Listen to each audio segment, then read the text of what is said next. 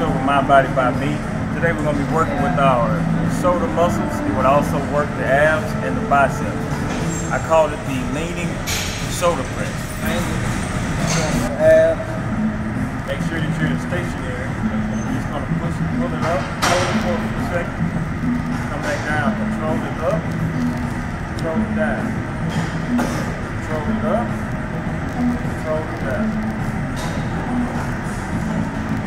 about between 8 and 10. Another variation is going to come up like this.